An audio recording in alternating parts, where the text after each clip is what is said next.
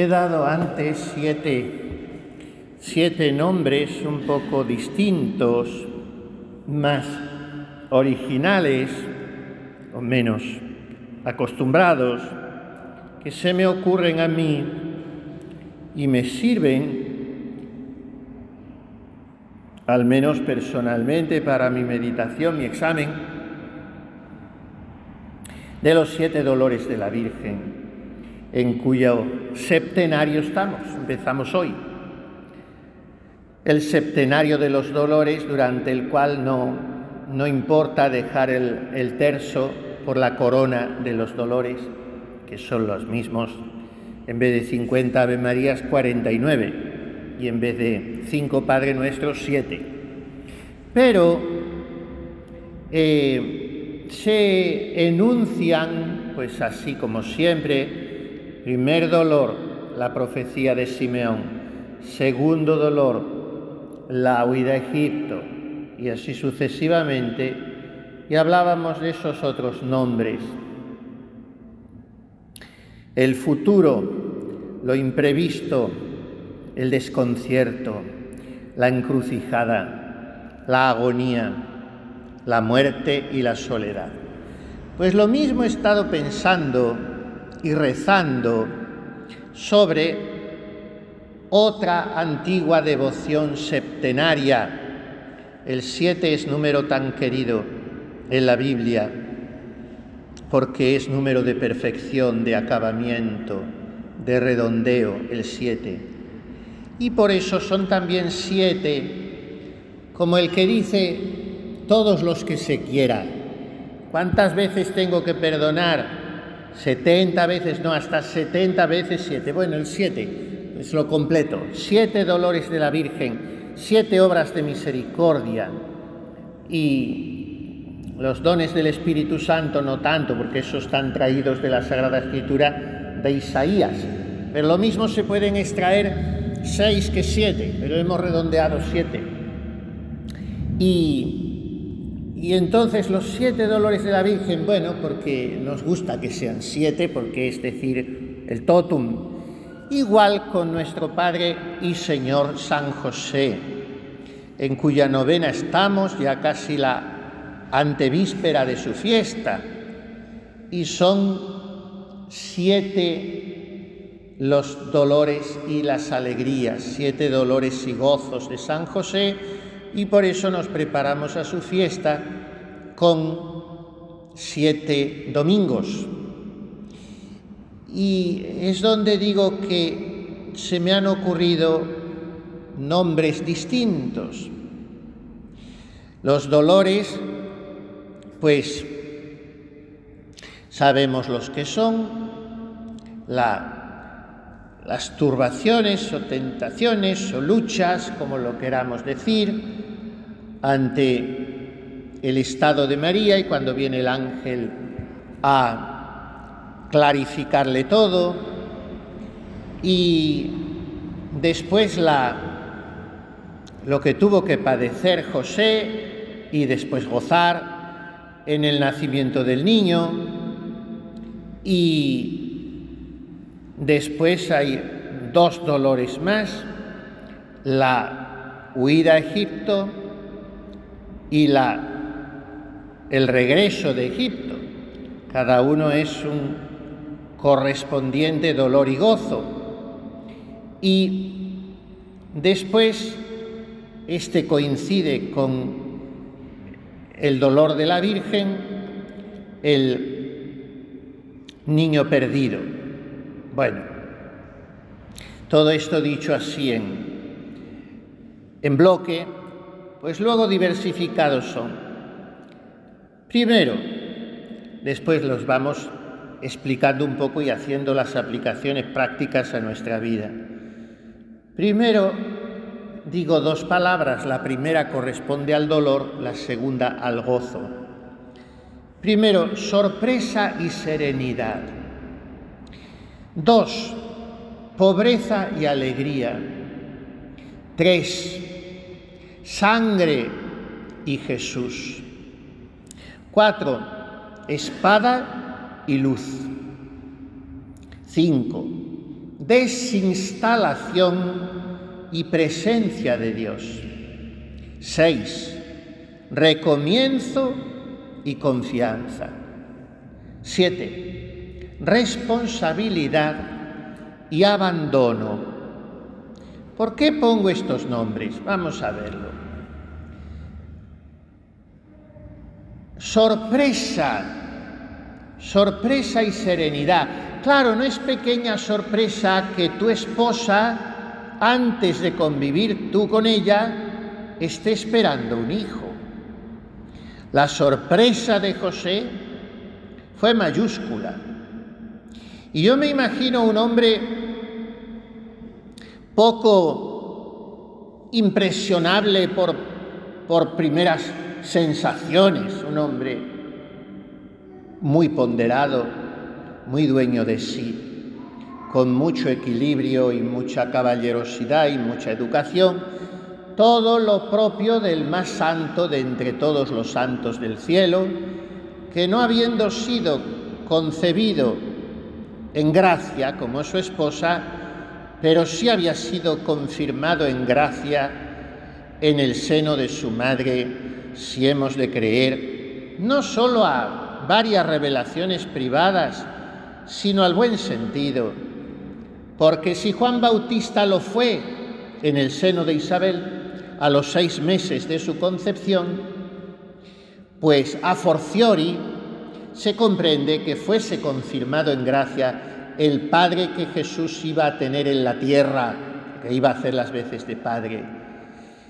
Claro, la confirmación en gracia no es sin pecancia, pero es un estado en el cual moralmente resulta, voy a atreverme a decir, casi imposible, muy difícil ofender a Dios, desagradarle, dentro de que, como dice el Concilio de Trento, nadie fuera de la Santísima Virgen ha estado libre de pecado venial semideliberado. Pero al fin un pecado venial semideliberado es una cosa de poco, de poco tomo, pero estos los santos los han cometido con frecuencia y en fin. San Juan de la Cruz dice que cuando un alma llega al matrimonio espiritual queda confirmada en gracia. Y Santa Teresa de Jesús, que sabía mucho de ello porque ella había llegado al matrimonio espiritual, dice que de confirmación en gracia nada, que el alma sigue siendo frágil y que incluso se puede caer en más ofensas de Dios pequeñas como le pasaba a ella, porque en vez de estar en la tranquilidad de una celda, estaba tratando con unos y con otros porque llevaba a sus espaldas 15 fundaciones. Y eso eh, le hacía tener que negociar, a veces impacientarse y en fin. Pero para San Juan de la Cruz, como él mismo le confesó a una monja que él sintió claramente que había sido confirmado en gracia en su primera misa con 25 años, pues cada uno habla por su experiencia. Pero San José bendito es lo lógico que estaba confirmado en gracia. Por tanto, además un espíritu de oración, una madurez humana, una colección de virtudes humanas y sobrenaturales extraordinarias, pero claro, por mucho que un hombre sea así, ahora de repente tu esposa está esperando un hijo, ¿qué hacemos aquí? Hay, hay tres posturas, tres posturas interpretativas de este Evangelio de San Mateo. No me voy a detener en enumerar todos los que apoyan cada postura, los agustines, los jerónimos y hasta los franciscos de Sales. La postura de quien dicen que José quiso repudiar a su mujer, lo cual es una palabra muy fuerte. Esa palabra no está bien traída del original griego. Darle velo de repudio para nosotros es otra cosa más dura que es infamante para la mujer. José sí, efectivamente lo quiso hacer, pero de manera que no quedara infamada María, sino que él se había retirado. Bueno, esa es la primera postura. San José repudia a María. Y la otra postura, maximalista, es que como San José desde el principio conoció totalmente el misterio, se consideró indigno de él y se retiró. Bueno, eso no se colige tampoco del Evangelio, no hay que ser exagerados. Y hay una postura media que es la que sostiene y a la que a mí me gusta adherirme, que San José, conociendo que en María todo era pureza, suspende su juicio ante la extrañeza mayúscula de lo que allí sucede, suspende su juicio y se retira. Y lo que sea sonará, pero confiando en Dios. Entonces por eso digo que el dolor y el gozo bien se pudieran traducir en estas dos expresiones, sorpresa y serenidad. La sorpresa con mucho dolor, con mucho desconcierto y con mucha vergüenza pública incluso. Esto podía haber sido causa de una gran perturbación, incluso de, de arranques de, furia, de rabia, de sorpresa, pero serenidad. Esto nos enseña mucho.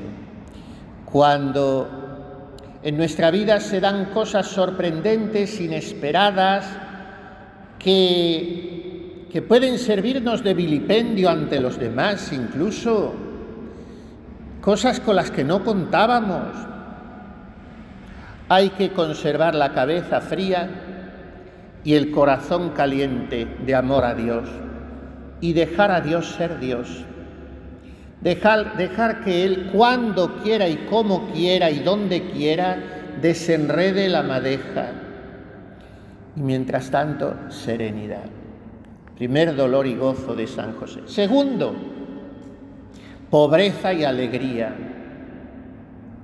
Hay que ver lo que es que ya te hayas enterado por el ángel y puedas hablarlo con tu esposa tranquilamente, que tú eres el custodio del mayor misterio imaginable, el custodio de la redención, el Padre nutricio del Hijo de Dios. Y ahora ese niño tenga que nacer en una cueva de animales.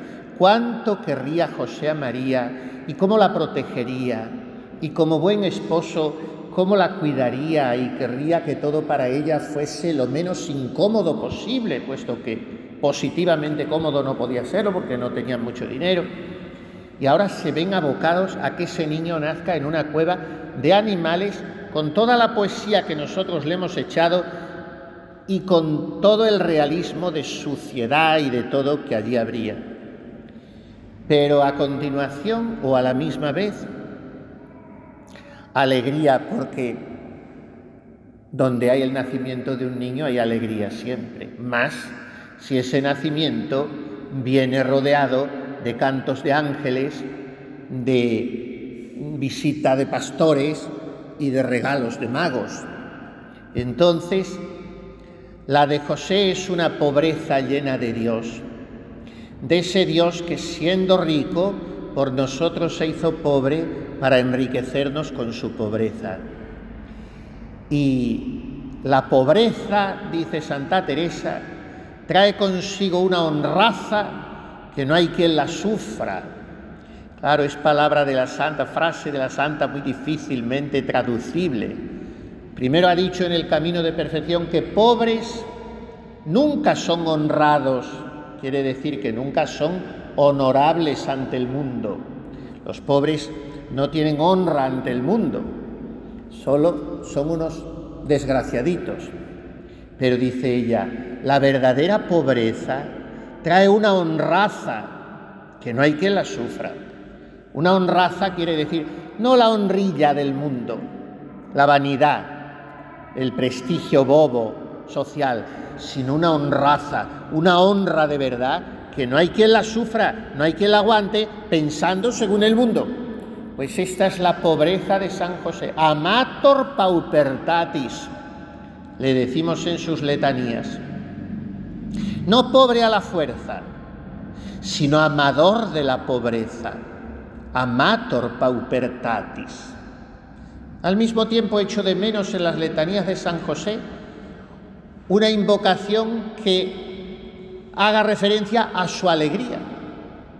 Así como en la Virgen la tenemos, causa nostra letizie, en las de San José no me acuerdo ahora mismo y, se las rezo todos los días, pero no me acuerdo, que haga referencia a su, alegría. Y me lo figuro un hombre muy alegre y además pendiente de animar a María como ella pendiente de animarle a él, que es lo que hace un matrimonio, claro, para eso están, para estimularse el uno al otro y, y quitarse importancia y si ve que el otro está sufriendo, pues hacer como que yo no sufro para que el otro no se disguste más. Así sería el episodio de Belén. Pobreza y alegría, si el de la Anunciación había sido sorpresa y serenidad. Y después a los ocho días viene la circuncisión ¿Quién sometió al niño a aquella mutilación tan sensible? Siendo un bebé tiernecito de una semana, ¿quién? ¿Fue el Moekel, que así se llamaba en hebreo al circuncidador? ¿O tuvo que ser porque no tenían dinero para el estipendio, puesto que todavía los magos no habían venido, seguramente a los ocho días no vinieron, vinieron cuando ya estaban en la casa, dice Evangelista, entraron en la casa, los magos no entraron en el portal, allí fueron los pastores aquella misma noche, pero los magos tardaron más, todavía el oro de los magos no lo tenía la Sagrada Familia, y para darle un estipendio decente al sacerdote. Es como el pobrecito que le gustaría ofrecer una misa por sus difuntos y no tiene dinero. Y no sabe que aunque no tenga dinero, yo se la voy a celebrar, pero a lo mejor no se atreve. Pues según esto es muy verosímil que estaba contemplado en la ley, aunque era muy desusado porque era algo pues muy de pobres muy pobres, pero según esto, es muy posible que el que circuncidó al niño fue el propio José. Con lo que eso supone de temblor, de sufrimiento. Como digo, una operación quirúrgica sin anestesia en un niño de ocho días, con el consiguiente derramamiento de sangre y la propia María, ayudada por alguna vecina o alguna amiga buena, con el cuenquito a recoger la sangre y esa sangre viéndola José. Y ese fue su dolor, la sangre. Y a continuación viene la alegría. Y fue para él doble alegría. La alegría es el santísimo nombre de Jesús. ¿Quién es el que lo pronuncia por primera vez? José no solo porque a él se lo había encargado el ángel, tú le pondrás por nombre Jesús, sino porque se lo había encargado el ángel precisamente porque el encargado oficial de pronunciar el nombre era el padre, el cabeza de familia.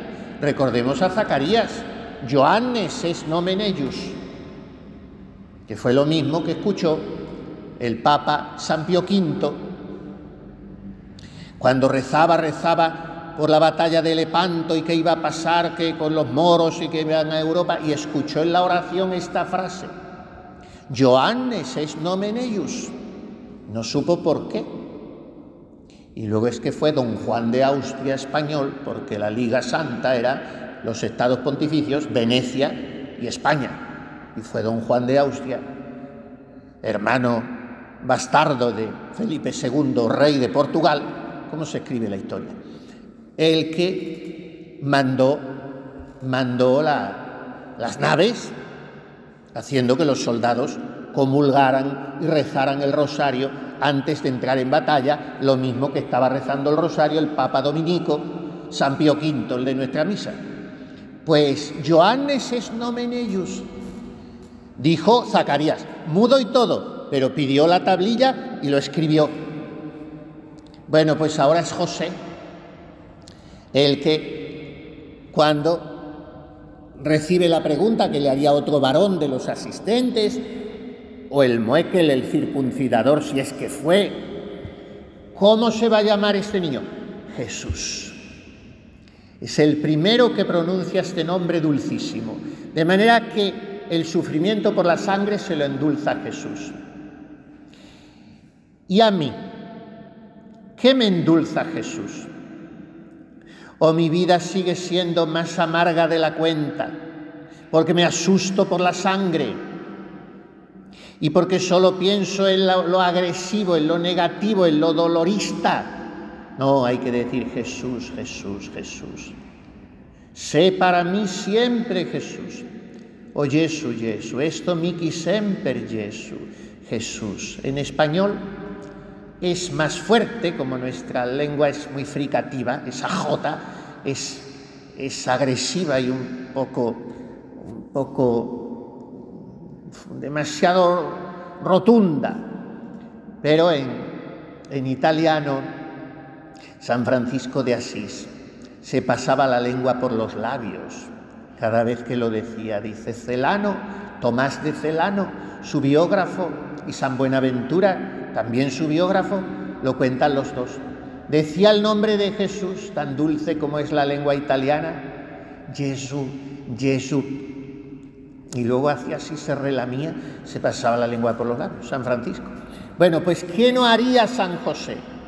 Cuando pronunció el nombre de Jesús por primera vez, yo me figuro que lo que haría sería un guiño a la Virgen. Se mirarían, ya lo tenían hablado todo, claro, y, y se sonreirían porque sabían que Jesús significa Jehoshua, Dios salva, el Salvador. Y así es como se lo decían ellos, Jesús y María, Joshua, Josué, Jehoshua, todo en arameo es lo mismo, para nosotros Jesús. Pues bien, sangre y Jesús. El tercer dolor y el tercer gozo. Y el cuarto, el cuarto lo hemos meditado esta mañana porque es el primero de los siete de la Virgen, la profecía de Simeón. Este viejito es adorable porque solo figurárnoslo teniendo en brazos al niño haciéndole carantoñas, cantando el nundimitis mientras lloraba, porque los viejos, los abuelitos, son muy sensibles, muy impresionables y lloran con facilidad. Y yo me lo figuro mirando a aquella pareja de jóvenes esposos, medio despistados en el templo, dos forasteros que llevaban un par de pichones porque no tenían dinero para un corderito. Y así perdidos en el templo con aquel niño como un sol y se acerca el santo viejo, María se lo da, lo tomaría en brazos, empezaría hasta a bailar un poco, non dimiti servuntum domine. Y bien, pero después hay que reconocer que Simeón, San Simeón, fue muy duro con María fue duro con María porque el Espíritu Santo muchas veces es duro con nosotros. No olvidemos cómo irrumpió en Pentecostés, como un viento impetuoso que removió toda la casa. O sea que estas melifluidades sensibleras de ahora, de que todo es Dios te ama, Dios te ama, Así no, no se han dado mucho el Señor en la Sagrada Escritura. Dios te ama, pero te ama así. Mira que una espada te traspasará el alma, que es lo más que se puede decir a una mujer, a una madre recién madre de 15 años. Déjala descansar un poco, que hace 40 días acaba de dar a luz en Belén, pobrísimamente, sola, sola San Ignacio de Loyola en sus ejercicios dice que meditemos en San José, en la Virgen y la ancila, la ancila, menos mal que mete a la ancila, la esclava, Anchilla. Alguna mujercita aparecería por allí a ayudar a la Virgen, pero ella solita, Sosiña, ¿qué decís aquí?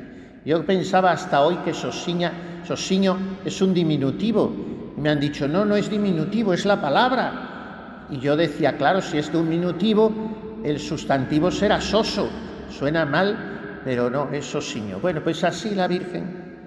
Eso me da mucha ternura con Lucía cuando le dice, ¿y conmigo qué va a pasar? Y le dice la Nosa Señora, te quedarás sosiña, tendrás que sufrir mucho.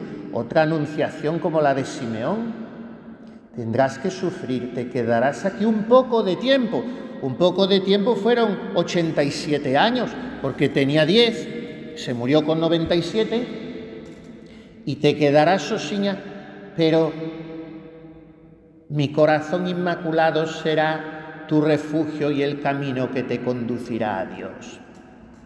Bueno, pues este fue el anuncio de Simeón. Y entonces el dolor y el gozo, ¿cuál es? Espada y luz. Una espada te atravesará el corazón, pero a María no dejaban de resonarle ya en el hondón de su alma el resto de su vida, teniendo siempre presente la espada, teniendo en el horizonte la cruz. Santa Brígida vio que la Virgen tuvo siempre eso ante la vista. Santa Teresa también lo recibió en una revelación, que la Virgen nunca desde Simeón dejó de pensar un día en la pasión. Ahora vienen los escritores modernistas y dicen, María, una muchacha como otra cualquiera, no sabía nada, no entendía nada. Entonces, entonces, ¿quién era la Inmaculada Concepción? ¿Era igual que nosotros? Por supuesto que era igual que nosotros, pero tenía una iluminación de Dios extraordinaria y esa iluminación hacía que nunca se olvidó de la espada, pero tampoco se olvidó de la luz. ¿Para qué era la espada? Para abrir en el cielo un rompimiento de gloria y que en medio de los nubarrones negros se colasen los rayos del sol para redimir a los hombres, porque así termina Simeón el Lundimitis. Lumen ad revelationem gentium, et gloriam plebis tue. Israel. Este es el niño. Luz para la revelación de las gentes y gloria de tu pueblo, Israel. Por tanto, espada y luz. A veces yo me quedo solo en la espada. Y posiblemente tenga enemigos, no por mí, sino por ellos que me están acechando con la espada. Y solo veo la espada. No, hay que ver la luz más allá de la espada. Y también hay que dejarse consolar, porque en esta escena hay otro personaje que a mí me produce una ternura inconmensurable, porque pasa desapercibida, que es la abuelita Ana. 84 años, unas traducciones dicen 84 de edad y otras 84 de viuda. Si llevaba 84 de viudas, que tenía 100, porque se hubiera casado a los 14 años y a los 16 se queda viuda, ya tenemos 100 años. Ana, la profetisa de Fanuel, que hablaba a todos del niño. No nos dice más San Lucas. Yo me figuro una cosa. La sensibilidad de María se quedaría tan impactada que entonces San José, al ver que después se acercaba la viejita, le dijo, María, vete con ella, que yo me quedo aquí con el Simeón arreglando lo del estipendio y esas cosas de los pichones, y tú vete con Ana. Y de mujer a mujer se entienden siempre y quedan amigas. Los hombres tardamos un poco más, las mujeres en cuanto se ven se abrazan, se besan, se cuentan la vida y quedan muy amigas. Y la viejita le diría, mira hija, Miriam, yo me llamo como tu madre, Ana, y entonces hazte cuenta que soy tu madre. ¿Qué te ha dicho este que cantaba y lloraba? Bueno, pues mira, me ha dicho que, que, que una espada me va a atravesar el alma. Bueno, ya sabes, los hombres son muy brutos, pero tú no te preocupes, mira, con ese niño que tienes. Todas las penas son alegrías y además haz una cosa, apóyate siempre en, tu esposo, que es un hombre tan firme, tan recio, tan prudente, tan lleno de Dios. Y esas son las buenas amigas, las que no te separan del marido, sino que te unen a él. Las amigas que separan de los maridos o los amigos que separan de las mujeres no son recomendables, por supuesto. Por tanto, espada y luz. San José supo ver la luz detrás de la espada, porque él hasta que murió en brazos de Jesús y María, también tuvo siempre presente la profecía de Simeón y lo que sufriera María lo sufría él exactamente igual, por el amor tan puro que le tenía. Y ahora, ¿cuál es el quinto dolor? Pues es un dolor muy incómodo que también lo meditamos entre los siete dolores de la Virgen.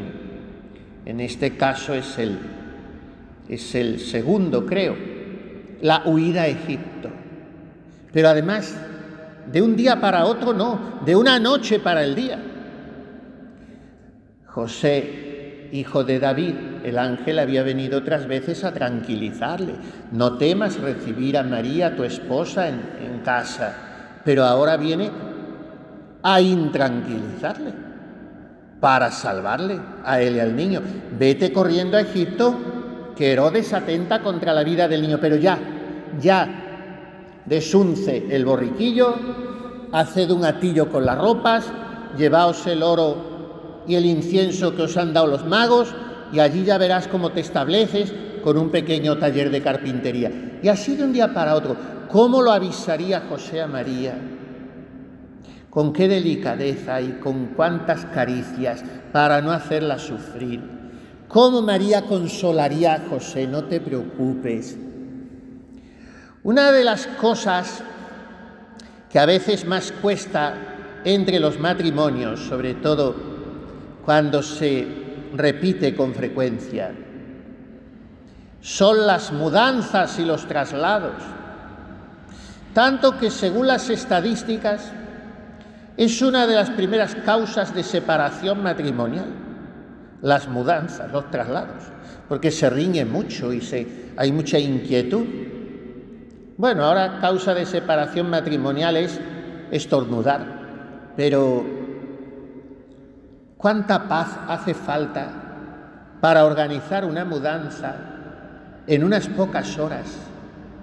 Y una mudanza a un lugar que no está excesivamente lejos, Egipto, pero con los medios de entonces era casi un mes de camino, a pie, con un borriquito, con un niño pequeño, sin medios, lavando los pañales en cualquier riachuelo, y porque no nos vamos a creer esas cosas de que los, las palmeras se inclinasen a su paso para que ellos cogieran los dátiles, irían casi de limosna.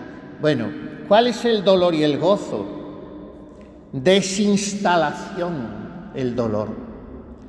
Desinstalarme de mi tierra, de mi familia, de mi trabajo, de una cierta tranquilidad y así, tan aprisa, es muy mortificante.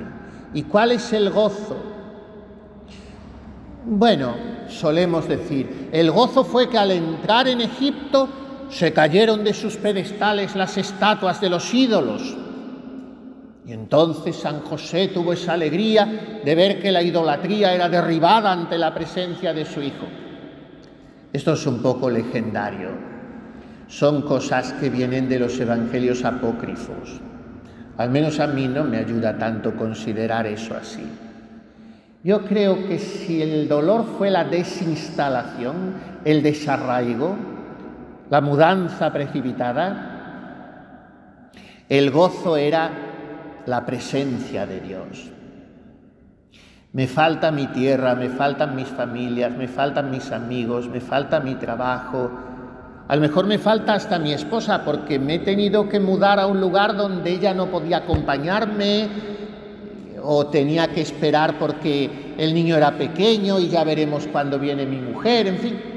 Pero hay algo que no nos falta. Dice un salmo, si escalo el cielo, allí estás tú. Si me acuesto en el abismo, allí te encuentro. Si viajo hasta el confín del mar, si emigro hasta la raya de la aurora, allí me alcanzará tu izquierda y me agarrará tu derecha. Dios está siempre con nosotros, de manera que en medio del dolor, el gozo de la presencia de Dios, que hacen que José no desfalleciera, teniendo que sostener él a los otros dos. Y por fin pueden volver de Egipto. Y San José recibe ese, gozo, pero al mismo tiempo el temor de que como reina Arquelao tienen que volver a Nazaret. Junto dolor y gozo. A mí me gusta llamar a esto el sexto dolor y gozo, recomienzo y confianza. Para mí el dolor es el recomenzar, cuesta otra vez, otra vez. Aquello que dejé, a ver en qué condiciones me lo encuentro, a ver cómo me reciben, a ver si puedo reiniciar el trabajo, a ver si los amigos antiguos no me han fallado, ahora ya tengo cinco años más o veinte años más o, seis meses más. En, caso de, el caso de la Sagrada Familia fueron tres o cuatro años. ¿eh? Y entonces, ¿qué me voy a encontrar? El recomenzar cuesta. Pero, ¿cuál es el gozo que endulza eso? Recomienzo y confianza si Deus pro nobis quis contra nos. Dios es el mismo ayer y hoy y siempre.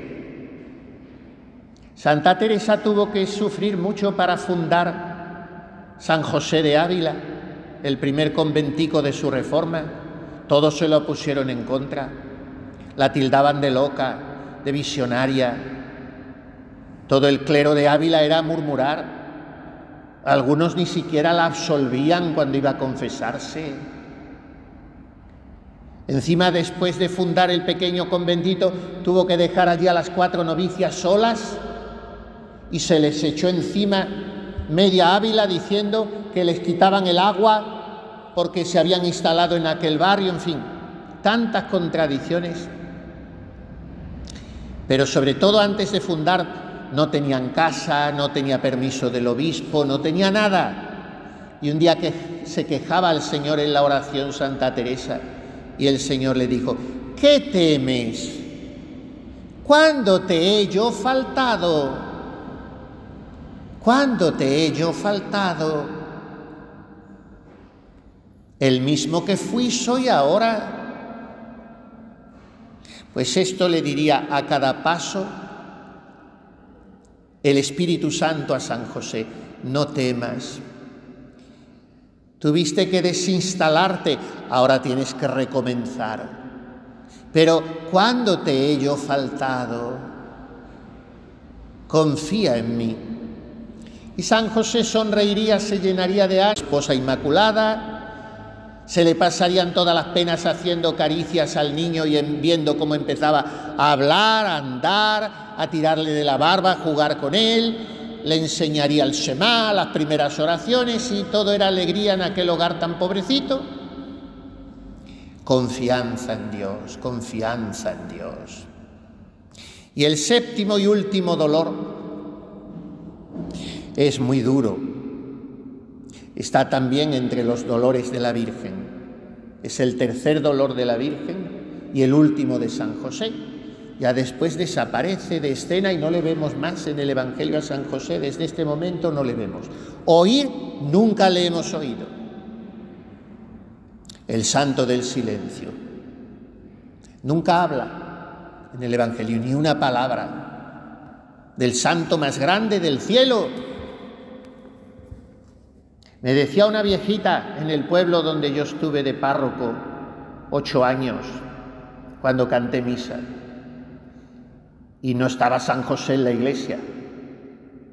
Yo le puse una imagen grande al entrar, luego lo puse en el retablo del todo.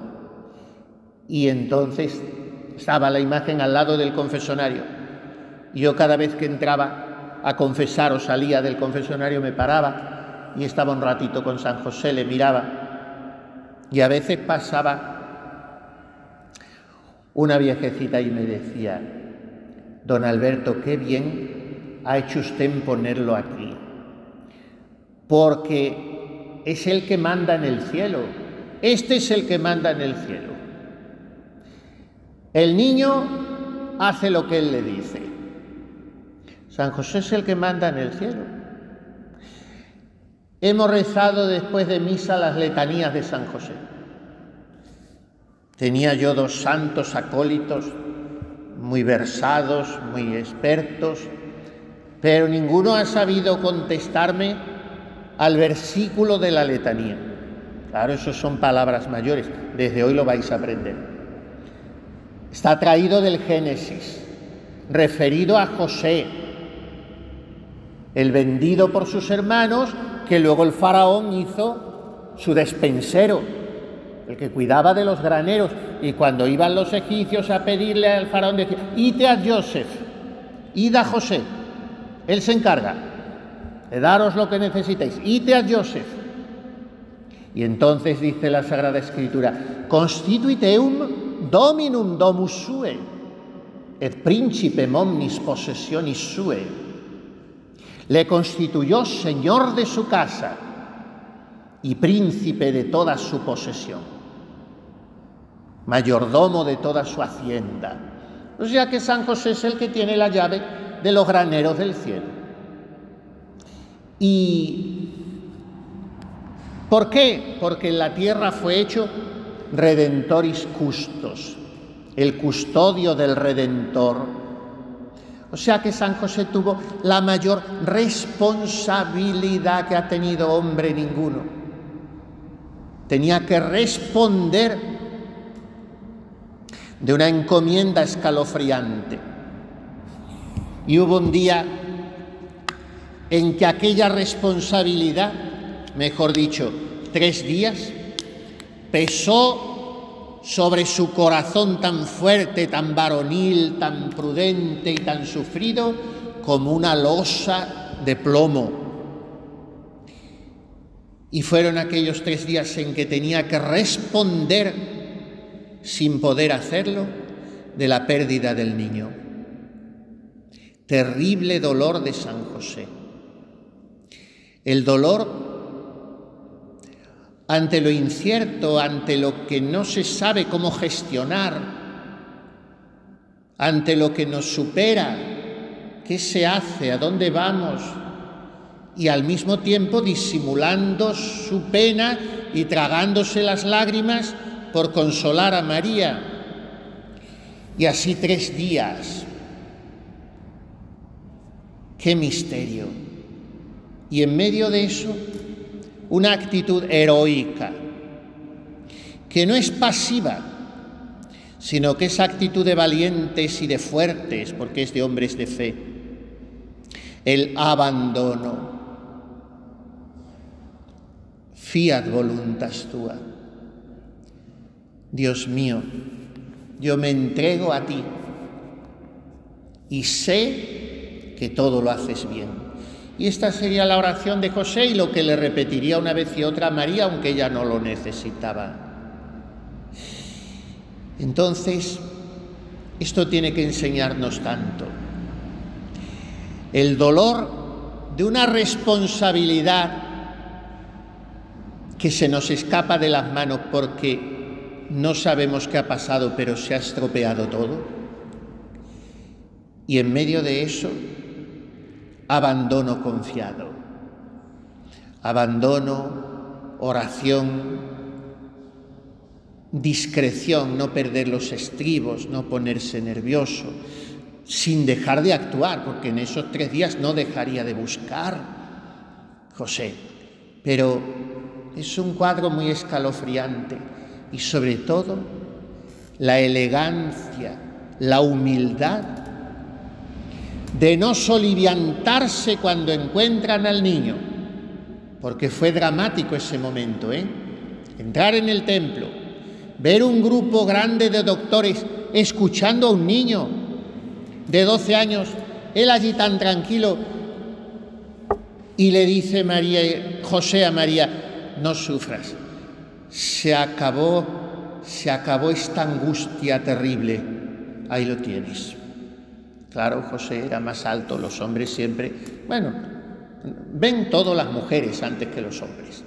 Pero como había mucha gente en el templo, José, que era más alto, vería por encima de las cabezas y llevando del brazo a su mujer, dice, no sufras, no llores más, ahí lo tienes. Y entonces en ese momento, en vez de irse, pues presas de, del nerviosismo, de cuando una emoción y un dolor contenido da rienda suelta, pues se puede gritar y se puede llorar y se, se van serenamente ante el niño. Y posiblemente esperaron a que terminara su palestra con los doctores por no interrumpirla. Y ya cuando termina y el niño viene, José se retrae un paso y deja que la que hable sea María. Otra enseñanza grande para los hombres. Cuando se tiene al lado una mujer, claro, si no es una un poquito, vamos a decir, demasiado vehemente, si es una mujer serena y, una esposa, una madre, una, en fin, la presencia femenina madura y bien, hay que dejarlas que gestionen las cosas. El hombre sabe peor lo que tiene que decir. Y entonces José deja a María y María tiene esa reacción no sabemos si asombrosa, encantadora, desconcertante o todo a la vez. Porque no le da dos cachetes al niño porque no podía dárselos, ni le dice parece mentira. No, hijo, ¿por qué? ¿Por qué? Y ahora viene la alabanza más bonita de San José que hay en toda la historia de la espiritualidad, en todos los libros de teología, hay un libro de teología de un dominico español, muy bueno, eran dos hermanos dominicos, nunca me acuerdo si este era Bonifacio o Marceliano, miren qué dos nombres terribles. Bonifacio Llamera, Llamera, Ordinis Predicatorum, y el otro era Marceliano, eran teólogos los dos. El libro que está en la BAC es lo mejor que hay, la teología de San José.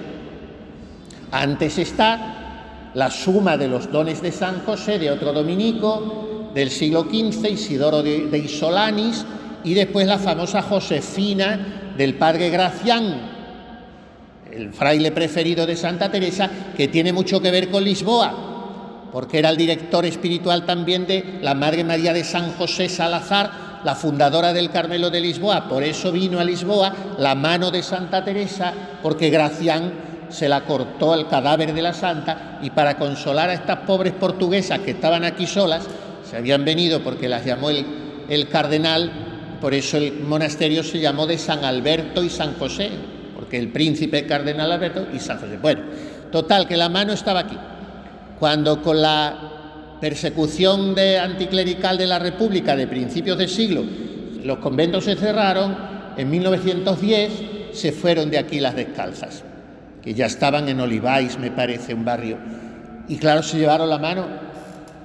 Y, después fundaron en Ronda, en, en Málaga, gracias también a la mediación del Beato Tiburcio Arnaiz, total, que allí se llevaron la mano. Luego los rojos en la guerra de España se incautaron de la mano porque tiene un relicario precioso y esa mano la tuvo Franco los 40 años que gobernó España, tuvo la mano de Santa Teresa en su dormitorio. Se encomendaba a la santa para todo. Santa Teresa que le ayudó mucho también eh, a ganar la guerra, a Franco, se encomendaba mucho a ella. Bueno, pues tuvo la mano. Y bueno, pues esa mano la cortó Gracia a la santa y la trajo aquí a Lisboa. Y estuvo en Lisboa pues más de tres siglos a mano de Santa Teresa.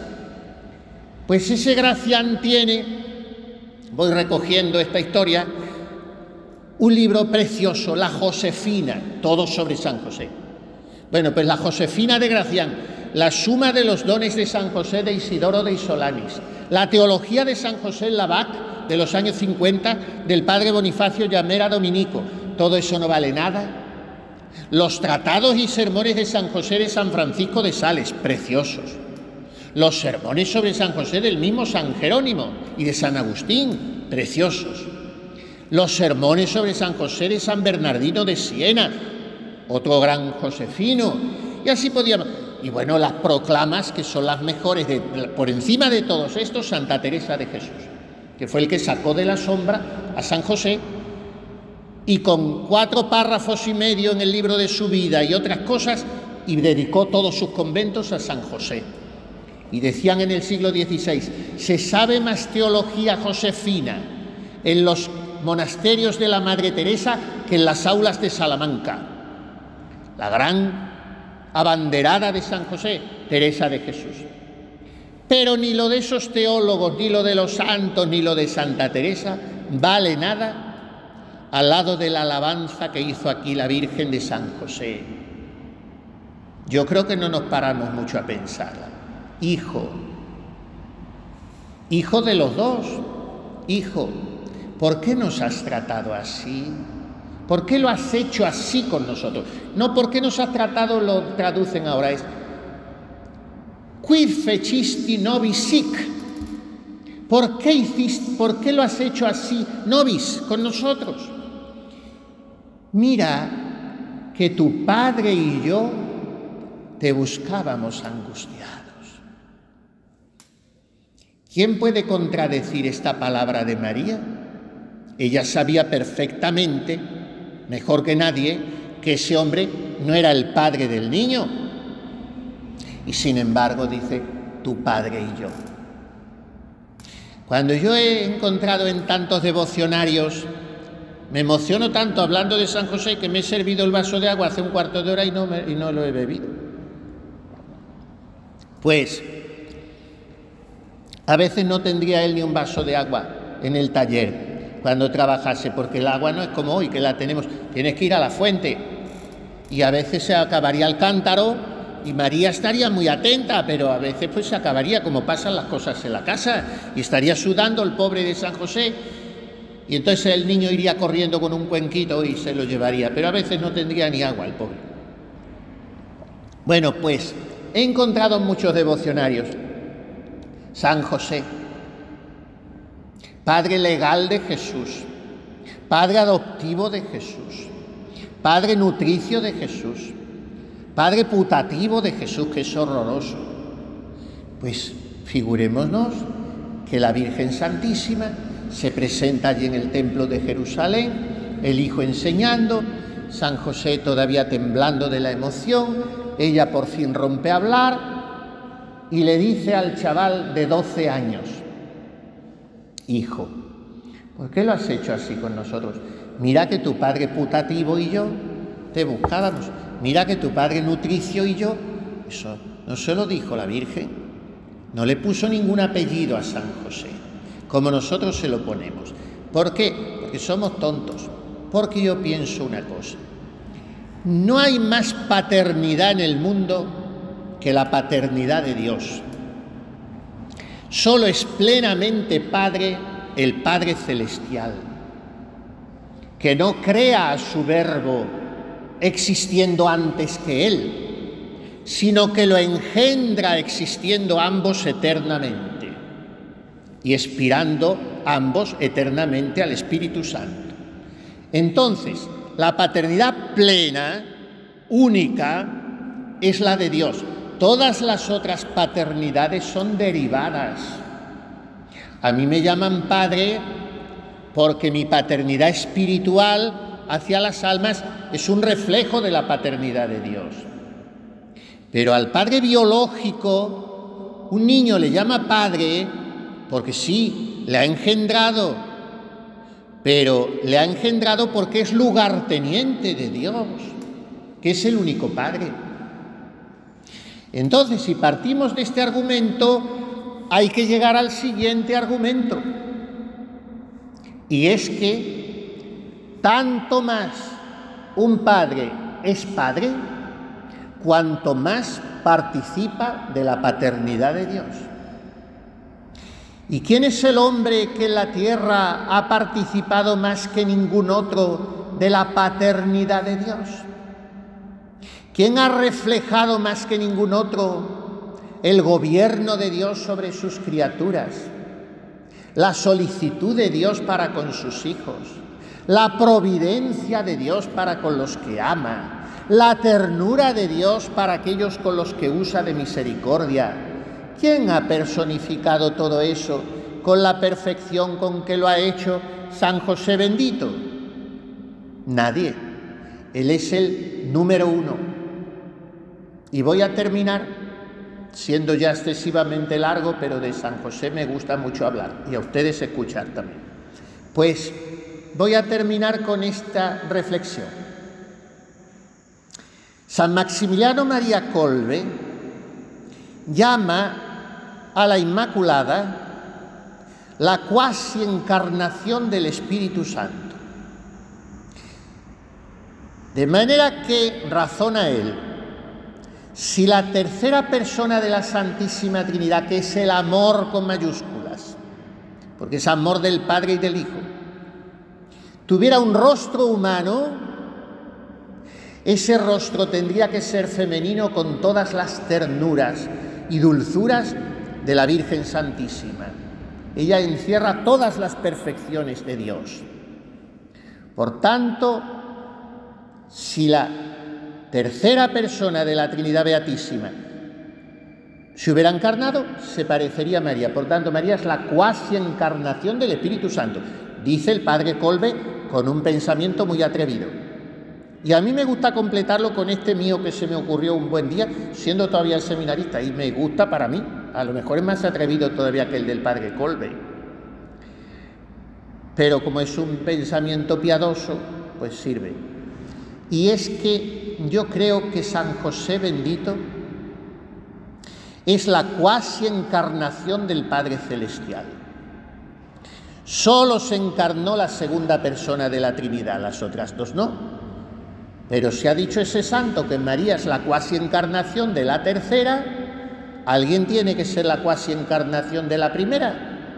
Y el que mejor representa la paternidad de Dios sin punto de comparación con el mejor padre de la tierra o la suma de todos los mejores padres de la tierra, es el patriarca San José. Por eso nos gusta llamarle, porque así nos lo enseñó Santa Teresa, no nos lo enseñó ningún santo moderno del siglo XX como algunos creen, no. Esos santos modernos lo han copiado de Santa Teresa. San José, nuestro Padre y Señor decía ella, mi verdadero Padre y Señor. Bueno, pues que Él nos enseñe a descubrir el gozo en medio del dolor. Y si le tomamos por maestro nos irá bien, dice la Santa de Ávila. Quien no hallare maestro que le enseñe oración, tome este glorioso santo por maestro y no errará el camino que no sé yo cómo se pueda pensar en la reina de los ángeles y en el niño Jesús, sin pensar también en lo mucho que les ayudó San José en sus trabajos. Nunca me acuerdo de haberle pedido cosa que la dejase de cumplir. Y si mi petición no iba derecha, él la enderezaba para más bien mío. Y el día de su fiesta, todos los años le hacía una petición especial. San José se la cumplía. Vamos nosotros a pedirle muchas cosas en este año, ya que estamos en las puertas de su fiesta, y que en nuestra vida los dolores y los gozos estén siempre entretejidos, como lo estuvieron en José y María, por el deseo de cumplir la adorable voluntad de Dios. Amén, amén, amén.